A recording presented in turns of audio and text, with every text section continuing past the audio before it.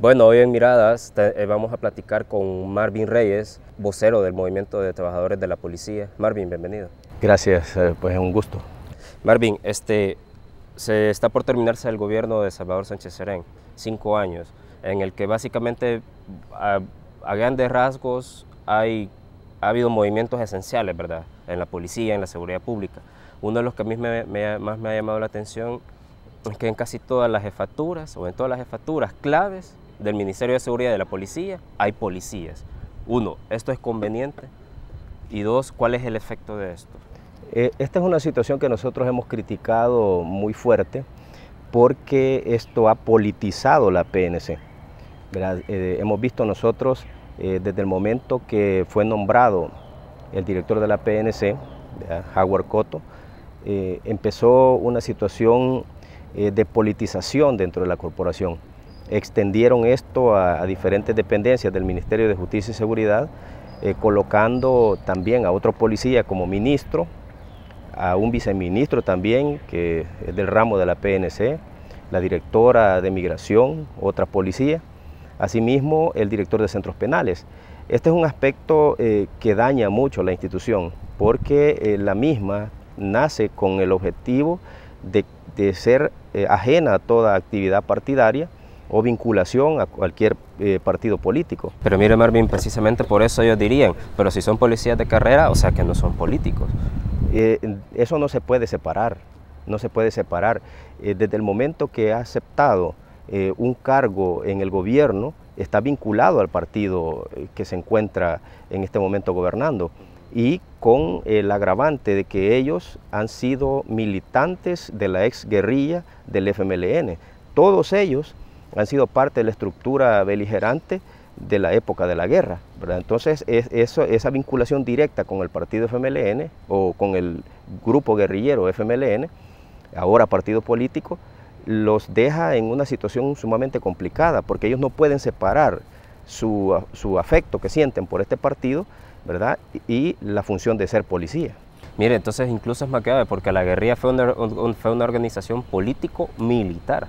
Es decir, que ellos son, tienen formación militar también. Exactamente, y ellos tienen una obediencia muy marcada hacia la cúpula del, partido FMLN. Entonces, esto lo que hace es ser, eh, digamos, obedientes ciegamente a las políticas eh, que dicta el gobierno. Y nosotros lo hemos podido evidenciar.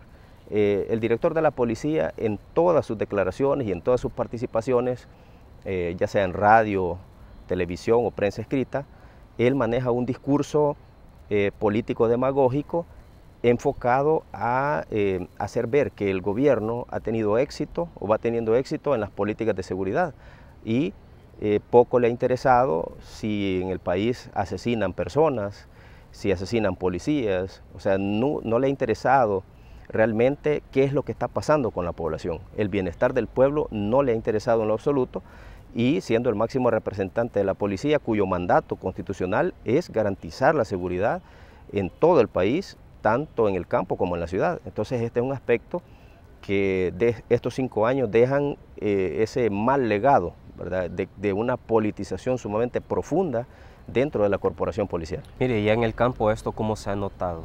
Eh, el problema es que cuando se, llega a estos niveles de politización, se producen efectos negativos al interior de las, instituciones. En este caso, la policía ha tenido un retroceso sumamente grande en la administración. Eh, se eliminaron las divisiones regionales que existían en la PNC, que eran cinco. Lo que hacían era dinamizar, eh, digamos, los aspectos logísticos y administrativos de la PNC. Con la llegada de Coto esto se elimina se, desarticularon unidades élite como el, GRP, eh, el, Grupo Antipandillas, eh, la Fuerza de Intervención de Recuperación de Territorios, la Fuerza Especializada del Salvador. Eh, quedó sin efecto instructivos, por ejemplo, que le daban cobertura a personas con discapacidad, policías discapacitados, eliminaron esos instructivos, eliminaron también instructivos que daban beneficios a las madres solteras con hijos eh, menores de edad. Eh, esa es una situación eh, contraproducente que ha ido minando, digamos, el buen funcionamiento de la policía. Se cayó en impago de inmuebles, se cayó en impago de servicios de luz, agua que fueron cortados en algunas dependencias policiales y, esta es una situación altamente bochornosa de que llegue el dueño de la vivienda que está siendo alquilada y le diga, mire, mire, me tiene que desalojar, pues. Entonces es una situación sumamente crítica. Y estos grupos entonces quedaron desprotegidos al interior. Me refiero a estos grupos discapacitados, eh, viudas. Sí, han quedado desprotegidos en el, en el sentido de que el instructivo que estaba planteado para que esta gente tuvieran, digamos, eh, un beneficio por tener una discapacidad, eh, ya no existe. Eso ya no existe. Ahora, pues, eh, lo que han hecho es recortarles el beneficio de pago de alimentación, ya se los redujeron en 30 dólares y todo es parte de la misma situación. La, politización de la policía ha determinado también los planes, los planes operativos eh, enfocados al combate a la criminalidad. Ahora eh, todo se enfoca en generar volumen, pero no calidad. Vemos cantidades exageradas de detenidos, pero de todos estos son muy pocos los que realmente eh, quedan o continúan con los procesos judiciales hasta su condena. Una gran mayoría salen, ¿verdad? Porque no tienen un sustento en la investigación y eh, se presta para un show propagandístico, ¿verdad? De que la policía está eh, haciendo grandes redadas, que está desarticulando... Lo mismo que pasaba con Arena. Exactamente, exactamente. Marvin, sin embargo, eh, una realidad es evidente, y al menos la cifra oficial lo que dice es que los asesinatos han disminuido. Sí, pero esto no es del todo cierto, ¿verdad? Porque la reducción de homicidios tiene varios, varios factores. Primero, las pandillas no se están matando entre ellos. ¿verdad? Hubo un acuerdo entre las dos pandillas grandes, MS y 18, en el año 2009, 2010, donde ellos establecieron un pacto que se llamó Juntos pero no revueltos. Y como objetivo principal atacar a la PNC, a los miembros de la corporación policial. A tal punto de que a partir del año 2014 inicia una eh, digamos, una escalada de ataques a, policías que terminó en, o más bien, se ha registrado en los últimos cinco años, se han registrado 232 homicidios de policías. Eh, entonces, esta es una situación eh, que reduce los homicidios porque ellos ya no se matan entre sí. La otra es que estos grupos criminales están ocultando los cuerpos están ocultando los cuerpos. Entonces, al no haber cuerpo, aparentemente no hay delito de homicidio. Y sí tenemos el reporte sumamente alto de personas desaparecidas. Solo el año pasado se reportaron más de 3.800 desaparecidos. Eh, es una cifra sumamente alta que viene a dar como un promedio de 10 personas desaparecidas por día. Mire, pero la, versión oficial de esto es que mucha gente sale del país y no le dice a su familia. No, eso no, no es del todo cierto, porque no se autodesaparece la persona, ¿verdad? Sino que esta, eh, eh, hay un parámetro en donde se puede decir que una persona está muerta y enterrada en un cementerio clandestino cuando pasan entre 72 y 120 horas. Cuando ese tiempo transcurrió y la persona no tuvo ningún contacto, ninguna llamada, absolutamente nada, debe considerarse muerta y enterrada en una fosa clandestina, porque no hay de ninguna manera que pueda garantizarse después de ese tiempo que esté con vida. Y estos reportes son a diario, nada menos en estos últimos días se han reportado incluso estudiantes de universidades que han desaparecido. Esta gente debe considerarse muerta, ¿verdad? porque no puede simplemente alguien decir, me voy de mi casa, eh, porque quiero desaparecer, y que me reporten eh, mis padres o mis parientes que, he desaparecido. Es una, es una situación para tratar de minimizar o tratar de, de no darle el agravante que merece este fenómeno de los desaparecidos. Marvin, hablando de penales, de centros penales, usted no ha notado un cambio en los centros penales y con, con esto lo estoy hablando también de la implementación del programa Yo Cambio, que algunas cosas positivas o diferentes se han visto. Marvin. Sí, eh, es probable que haya habido o, se esté generando un cambio dentro de los centros penales, eh, pero esto, digamos, eh, tiene un efecto ambiguo, ¿verdad? Porque proyecta a una, digamos, a una administración gubernamental que se enfoca en eh, mejorar condiciones de gente que está detenida o que está recluida y que están recluidos ahí no por buenas personas, sino que están recluidos por haber cometido delitos. Y aquí se prioriza la construcción de un penal o el mejoramiento de un penal a la construcción de una escuela, a la construcción de una biblioteca, a la, construcción de un eh, laboratorio de investigación. Entonces se prioriza eh, a la parte de estas, digamos, esta parte de la población que está recluida por delitos, como diciendo, miren, esta es la solución. O para tener trabajo usted tiene que estar preso, o para tener una empresa usted tiene que estar preso. Ese es un mal mensaje que están dando eh, las autoridades, ¿verdad? Es cierto que sí ha habido una especie de transformación, pero eso es como un espejismo, porque los penales no son la solución para ningún país, ¿verdad? Por el contrario, la solución para un país es invertir en educación, es invertir en la investigación científica, no estar invirtiendo en penales, haciéndose los modernos o creándoles eh, mecanismos para que ellos estén mejor, si son delincuentes al final.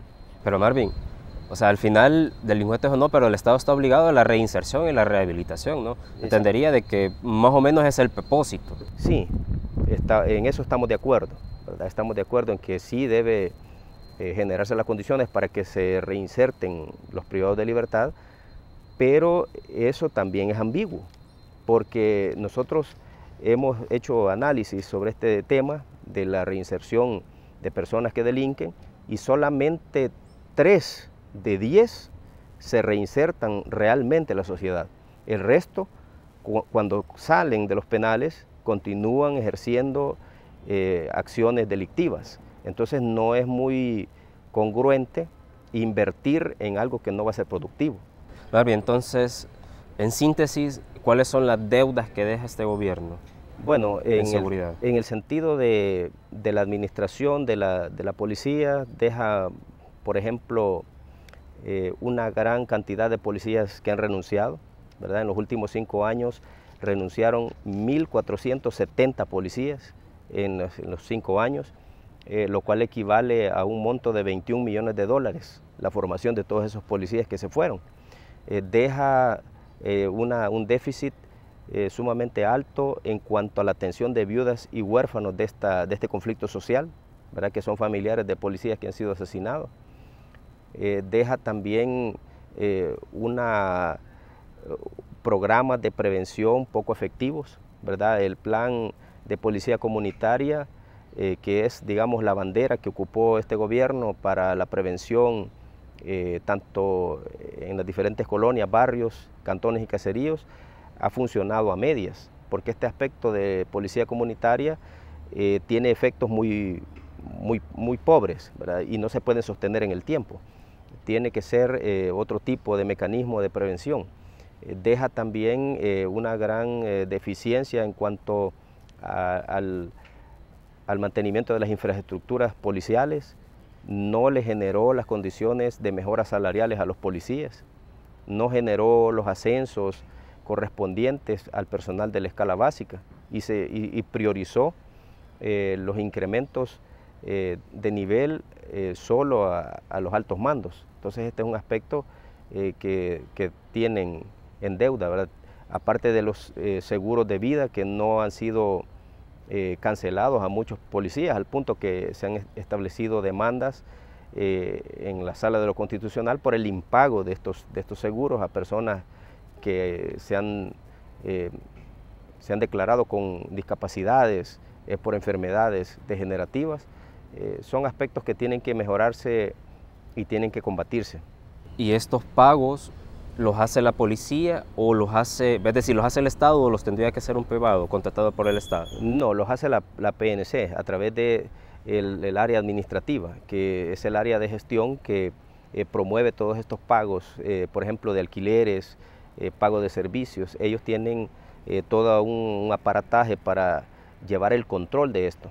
Y, ahí es donde se demuestra que ha habido una, una administración ineficiente porque las casas que sirven como unidades policiales eh, son de personas particulares, que las alquilan y esperan su pago puntual. Y aquí han habido casos que le deben hasta un año de pago de alquiler a una persona, al punto de decirle, mire, desocúpeme la casa, pues yo necesito alquilarla porque esto me retribuye a mí un poco en mi economía, pero eh, son aspectos que, que, tienen que mejorarse al interior de la corporación. Pero mire, es paradójico, más bien es irónico porque esta, esta administración de la policía ha recibido bastante dinero del Estado. Es que ese es el aspecto que nosotros hemos criticado, por eso nos enfocamos en que hay una mala administración, porque recursos han habido, pero no han sabido eh, utilizarlos como se debe. Al punto también que adquieren materiales, eh, digamos, eh, de mala calidad eh, para que el policía los utilice. Ahí tenemos denuncias de botas de mala calidad, por ejemplo, que compraron un lote bastante grande y que dos meses les duraron el calzado a los policías y se les dañó. Marvin, este, el nuevo gobierno va a comenzar el primero de junio. Eh, ¿Ustedes eh, qué expectativa tienen? ¿Y ¿Creen que puede ser diferente? Nosotros consideramos que va a ser diferente. Primero porque eh, nosotros como representantes de los trabajadores tuvimos un acercamiento con el, entonces candidato, eh, Nayib Bukele, ahora presidente electo, en donde eh, le planteamos por escrito una serie de peticiones enfocadas en las reivindicaciones laborales. Fue firmado públicamente en un evento, en un hotel, donde se llevó a cabo ese escenario, y eh, nosotros consideramos que los aspectos eh, de desmejora dentro de la corporación policial y la politización que en este momento se, se ha hecho bien evidente, van a ir retrocediendo. Hemos, hemos eh, planteado nosotros mejoras salariales para el nivel básico, ¿verdad? los agentes, los cabos, los sargentos, que los ascensos sean en su, en su debido momento, ¿verdad? no como ahora que van corriendo a la Asamblea Legislativa como conejos asustadizos a pedir eh, decretos express y a la medida para poder ascender solo el nivel superior y, los niveles ejecutivos, menos el nivel básico. Lo están dejando fuera. Eso nosotros lo hemos pedido. Eh, también que se reforme la ley disciplinaria, la ley de la carrera policial, la ley orgánica que contiene artículos inoperantes que ya no se acoplan a nuestra modernidad. Y sobre todo, un aspecto muy importante, que no asuma la dirección de la policía otro jefe policial del nivel superior, porque ha quedado demostrado que ninguno de ellos tiene la capacidad, tiene las características ni las habilidades, ni la decencia para asumir ese tan importante cargo como director de la PNC. Tiene que ser un civil entonces. Tiene que ser alguien de afuera, tiene que ser alguien que esté preparado, conozca el área o al menos eh, sea afín a esta situación, ¿verdad? Y tenga asesores que lo lleven por el camino correcto. Correcto. Bueno. Gracias, Marvin. A la orden.